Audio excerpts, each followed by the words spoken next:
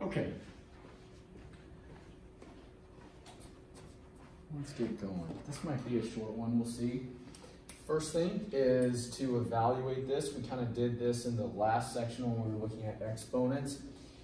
Comes back to times tables, multiplication, your mastery of that. This is pretty straightforward. So 9 squared equals 9 times 9, which is 81. I think we know that one. So hopefully you guys got your first question correct. Try to do that without a calculator. Really easy and to be tempted to use one, but try to avoid that. Let's go on to the next one. This next one, negative 8 squared. Now, before we go and do this, I do want to point out something from the last lesson, and it's the differentiation between these two things. A negative number to an exponent versus that a negative number in parentheses to an exponent. I want to point that out. And in this scenario, the way you would approach it is you would figure out whatever that number is to the exponent, and then no matter what, the answer is going to be negative. So it doesn't really matter that negative sign from the start, at the end, it's going to get attached to it. Your answer is going to be negative regardless. Recall that. However, in this scenario, what you would do is decide, okay, well, is my exponent odd? Or is my exponent even? And depending on that, if the exponent's odd, then my answer would end up being negative. If my exponent's even, my answer would end up being positive. So you have to make sure that you understand the difference here of whether we have something in parentheses, a negative in parentheses, versus, say, and I'll just put this problem here, what if it was negative 8 squared, like this? You guys see the difference here? So this is negative 8, negative 8 squared, negative 8 squared. We'll then decide, okay, is that exponent odd? No. Even? Yes. And work it through. Well, in our problem, that would be an even exponent, so it's going to end up being positive. Negative 8 times negative 8 is positive 64 because we did this, right? Negative 8 times another negative 8 equals 64. However, this one falls into this category. And when it's like this, we know without a doubt that our answer is going to be negative, no matter what.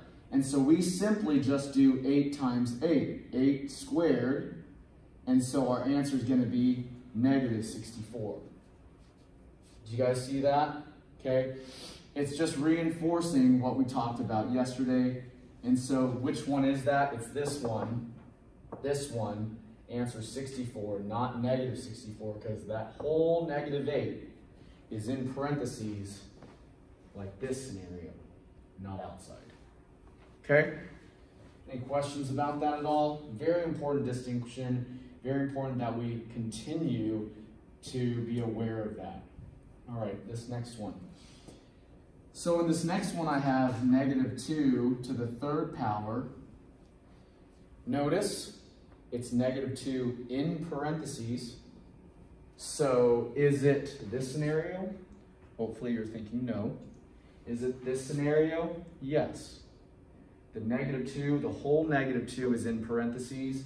So then we need to decide, are we to an odd power or are we to an even power? Well, my problem is to an odd power. So I know immediately that when I have a negative number to an odd exponent, my answer is going to be negative. And so you could simply do the math. That's going to be 2 times 2 times 2, 2 to the third power, which is 8. So my answer is negative 8. Another way that you can think about it is if you don't happen to see that it's a negative 2 to an odd power, you don't remember this, just do the math. What is this saying? It's saying a negative 2 times a negative 2 times another negative 2. Well, what is that? Negative 2 times negative 2 is positive 4. Positive 4 times another negative 2 is going to end up being a negative 8. So this rule is just extra help. But you can still do it all by yourself and get the correct answer. Any questions? You guys got it? Got your number three correct? Please let me know if it's not. I'm happy to help. I'll do your problem. Okay. All right, look at this one. I have negative 5 squared. Negative 5 squared. Is that negative 5 in a set of parentheses? No, it's not. When it's not itself in its own set of parentheses, look at the difference between these two. Contrasting these two, immediately we know the answer is going to be negative. And then all you have to do is do the actual 5 squared part. 5 times 5, which is 25.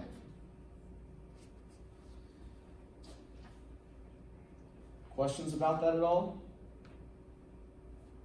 Is okay?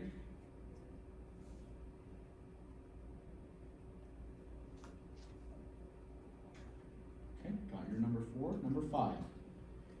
Okay, number five, negative two to the fourth power.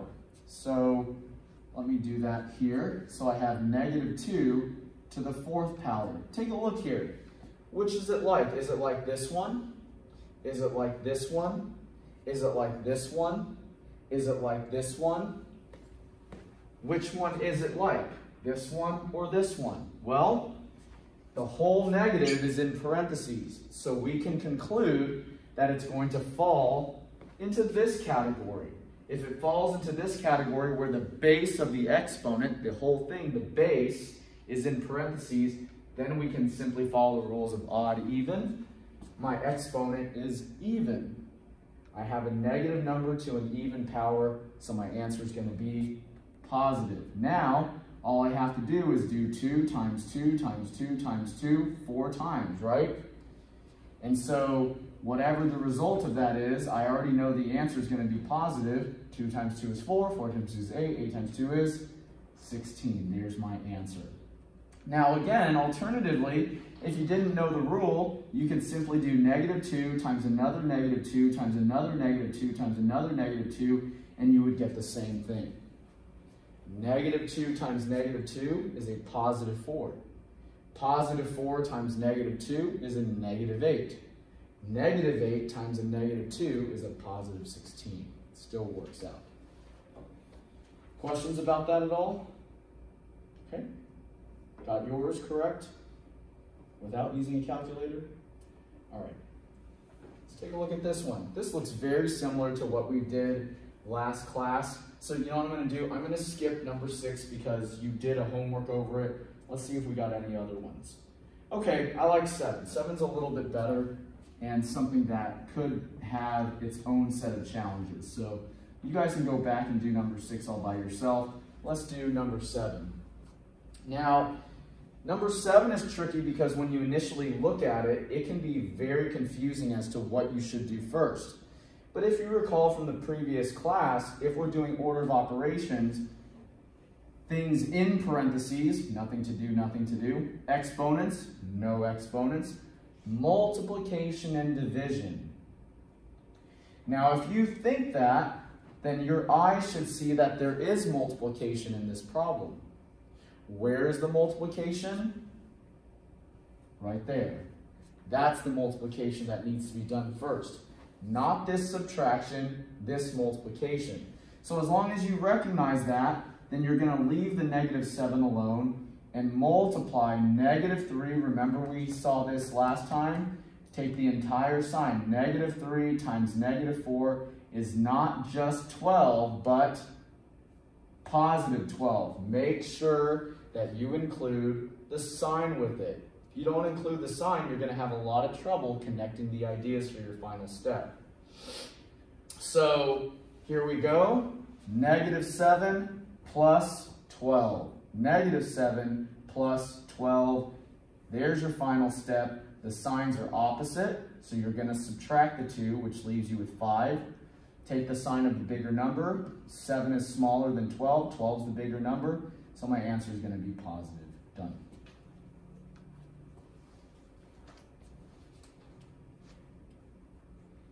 Did you get the right answer for yourself? Hopefully, okay. Any questions? Anything I can do? Can I do your problem? All right, let's keep going. Okay, number eight.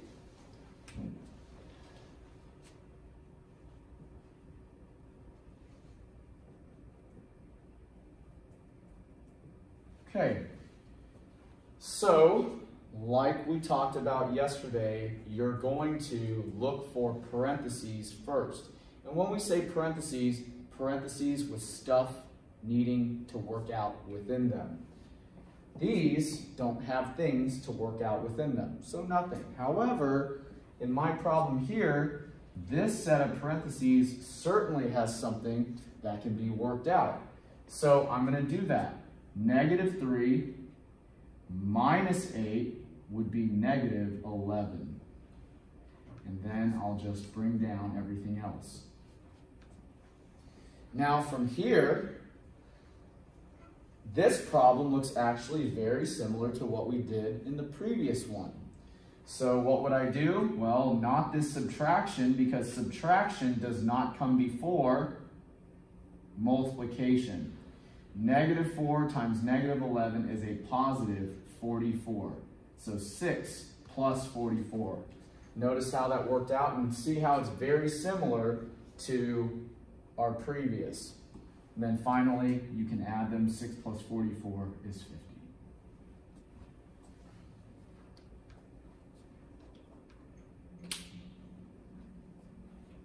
Any questions about number 8?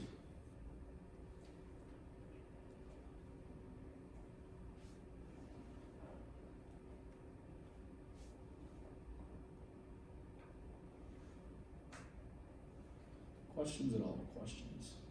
Things I can help you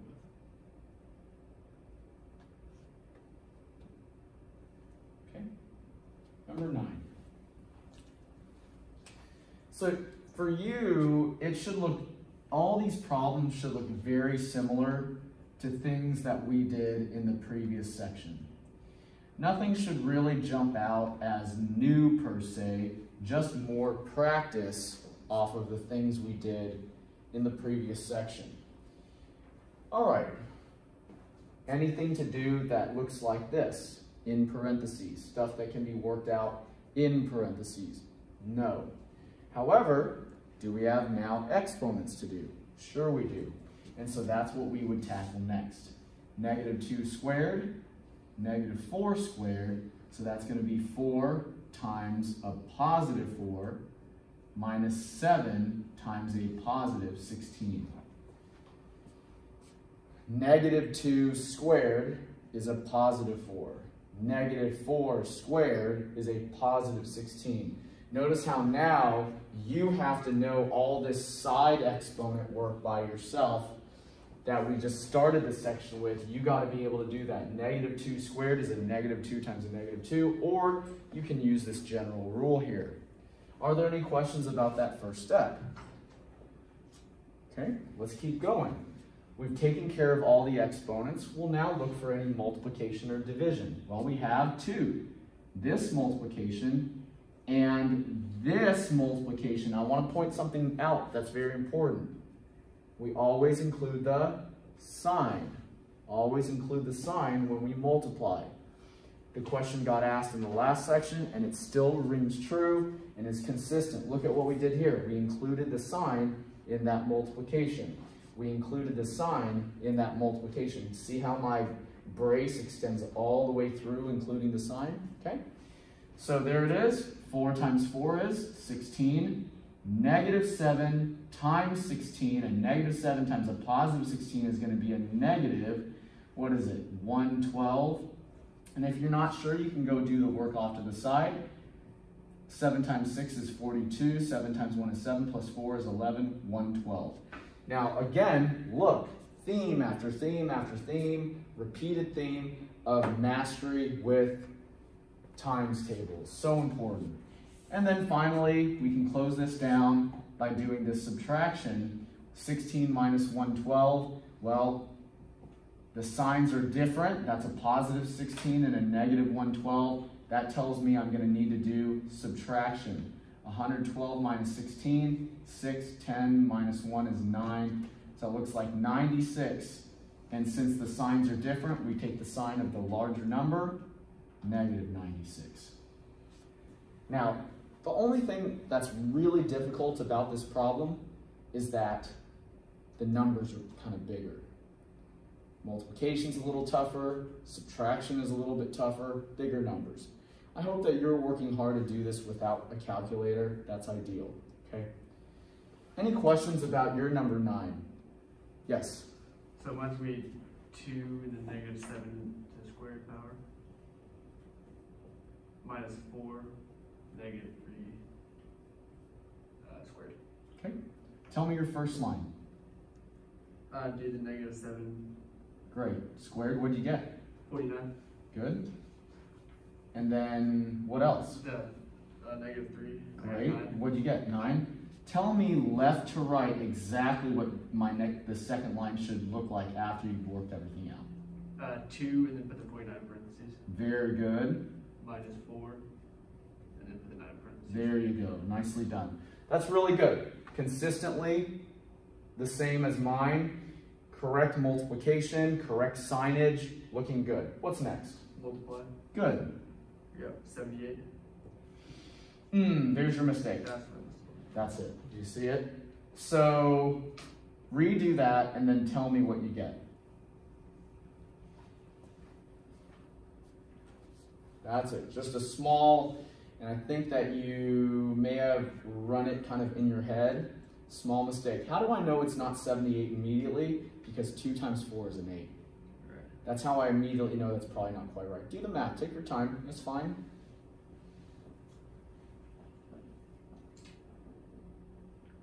There you go. Good job. And the second one. Okay, I just raised it. That's okay. You might have had the second one correct. It's no big deal. Thirty-six. Correct. Positive or negative. Negative. There you go. Always make sure to state the sign with it. And now it's just a matter of subtracting the two, right? Is your answer going to be positive or negative? Positive. Very good, because the bigger number is positive. Did you get an answer by chance? Sixty-two. There you go. Good work. Just a small mistake on, once again, that theme of multiplication. And even if you're good at multiplication, it's very easy to make small mistakes. So, good. Anybody else with a question on number nine? Okay, great. Let's go on to 10. Okay, so 10 is a pretty complete problem. Let's see if we can do this.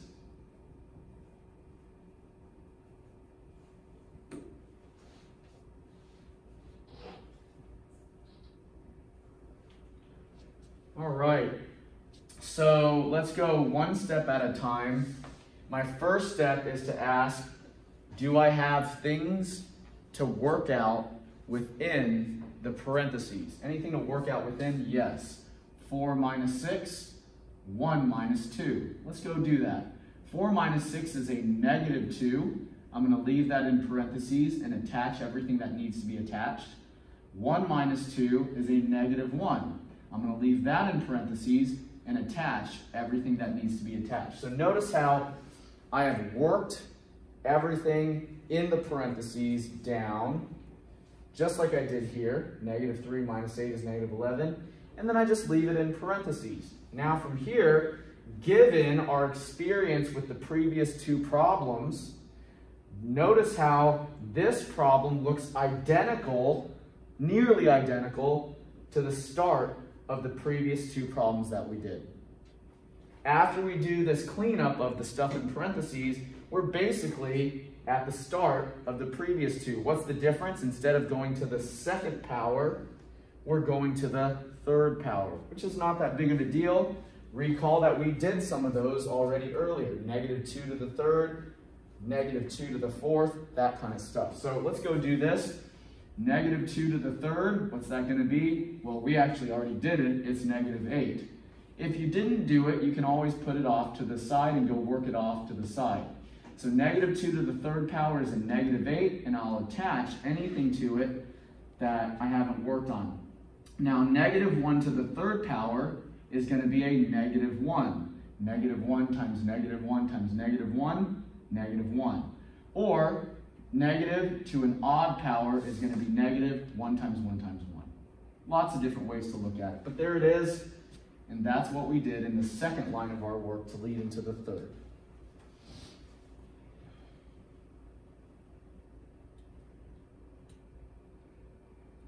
Any questions about what we just did there? Feeling okay? All right, let's keep going. Now notice how this line is just like this one. And all we have to do is do our times tables. 7 times negative 8 is a negative 56. Be careful with both your signs and the multiplication. The second pair, notice I'm not just going to do the 7. Negative 7 times negative 1. Negative 7 times negative 1 is going to be a positive 7. And now I'm ready to clean this up. Negative 56 plus 7 is going to be what? Negative 49.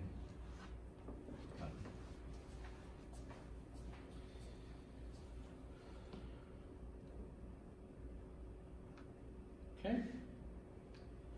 Got it? Any questions about number 10 from anybody? Want me to do yours?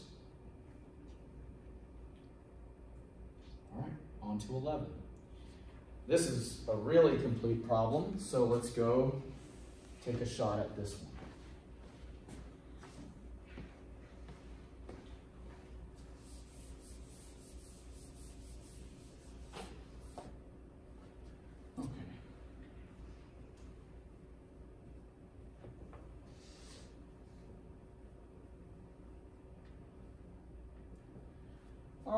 Let's take a look here. Very, the reason why this is difficult is because most students are going to look at this and just get overwhelmed and not know where to start. Well, why don't we ask the questions we've been asking for the last class and a half? Number one, are there any parentheses with things to get worked on? Are there any parentheses with things to get worked on within them? The answer is no. So we move on to the next. Are there any exponents that can be addressed? Yes, absolutely. We've got this exponent and this exponent. So if there are any exponents, exponents, exponents, exponents, exponents, exponents that can be addressed, we're going to go do those. 5 squared, 25, 3 squared, 9. And anything that didn't get worked on, just carry it down exactly the way that it looks. Be careful and make sure you're organized in and aligning all of your steps. If you do that, you're going to be less likely to make a mistake. Okay, after exponents, we look for multiplication and division. Now, we do see multiplication, and we do see division. Now, the question is, do I do the multiplication first before the division, just knee-jerk? The answer is no. I don't because if multiplication is sitting connected to side by side with division, I'm going to work left to right. So that is actually what should happen first. Notice again, I included the sign. I included the sign here. When multiplication or addition and subtraction are sitting side by side, connected, connected, you always work left to right, so that's what I'm going to do next. Negative 27, the whole thing, not just 27, negative 27 divided by 9 is going to, positive 9 is going to be a negative 3. That's it. That's what I did. And so now I'm going to bring down anything else that I did not work on. Following me? Questions? Okay. Now, what's next? Well, the multiplication. That's what's next. Not subtraction, not subtraction, this multiplication. And so, negative 3 times a positive 3, include the sign. It's a negative 9. Bring down anything else that you did not work on. See how by doing this and working through methodically, using the skills that we've worked on the, the last class and a half, we're going to be less likely to make mistakes and get overwhelmed. Okay, 25 minus 9, negative 9 minus 19. Which one do we do first? Left to right. There's the first one. 25 minus 9 would be, what, uh, 16? Then minus that 19. And then 16 minus 19 is the last step. 16 minus 19, negative 3. Done.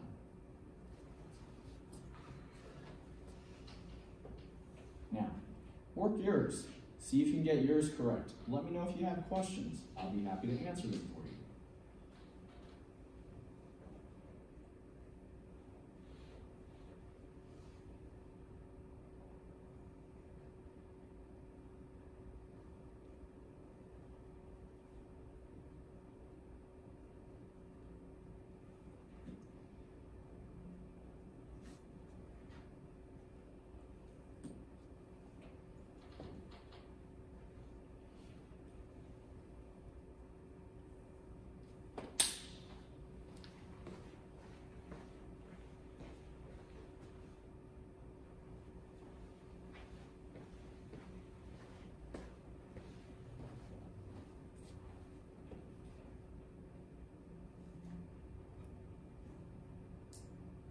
Any questions? Anybody want me to do your number 11?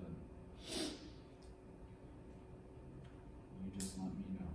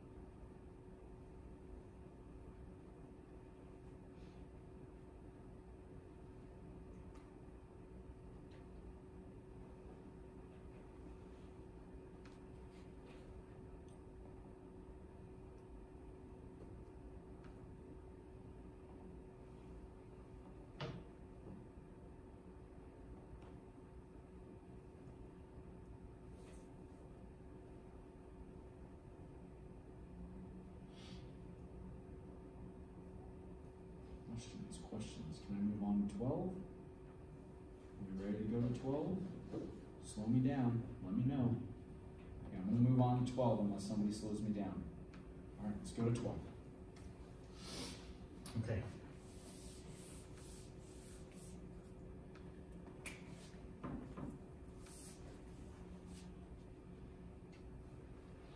All right, so I've got something that we haven't seen for a little bit. And what are these vertical bars? They're absolute value bars, not to be confused with parentheses, brackets, or braces. These absolute value bars are groupings. They do group things and collect things, but there's a function connected to them, which we'll discuss in just a moment. So let's first address parentheses, groupings in general we always look for the innermost. Recall from the previous notes that when you see a grouping, that you always want to look deep inside of it to see if there's more to do, and that's this right here. So this actually comes first. We need to address that part first. 7 minus 17 is going to be a negative 10. I'm going to leave that in parentheses because I'll deal with what's about to come up in a moment, but notice how I write it down. 7 minus 17 is negative 10. I put it in parentheses, kind of like how I did in these problems. Negative 3 minus 8, left it in parentheses. 4 minus 6, left it in parentheses. 1 minus 2, left it in parentheses. You guys with me? All right, consistent. Now, I'm done with this one, but now I'm going to move out to address this right here. Now, what did we say before? If you don't recall, we said that if we had a, a minus a negative b, like that, what did it become? It became a plus b. Recall that, that's from your previous notes. So look at this one. What is this going to become? 10 plus 10. So be aware that we have seen this rule, but you may be a little bit rusty with it, and it's no big deal. Just make sure that you understand that we've got these double negatives. Two negatives are going to make a positive right here. And now we can clean this up pretty easily. 10 plus 10 is 20, and we'll talk about this in just a moment. This is the most important thing right now is that you can clean up everything inside the absolute value bars down to a single number. Whether that number is positive or negative right now doesn't make a difference. You just want to be able to take this and simplify it to something like this. Any questions about that? The first several steps. Now, if you don't recall, let me refresh you that the absolute value of any negative number or any positive number is what? The positive version of the number itself. So if I'm, this is not just a grouping. It functions as both a grouping and a function to make sure that whatever number is inside here becomes positive. So what's 20? The absolute value of it? It's positive 20. And so now I have 2 times positive 20.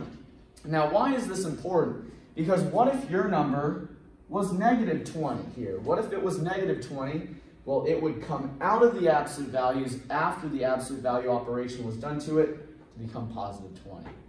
So that's really important to note. There is no way that whatever from here down can be negative. That's the important takeaway here. Got it? Then finally, of course, we're going to multiply these. 2 times 20 is 40, and you're done.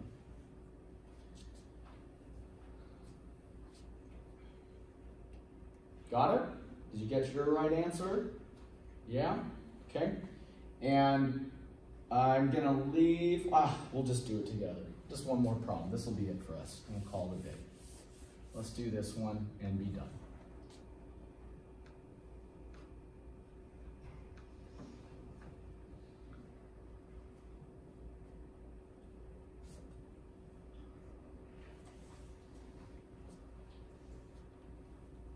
All right, so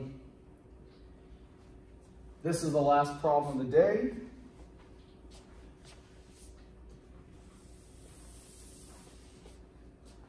Let's work things out, shall we?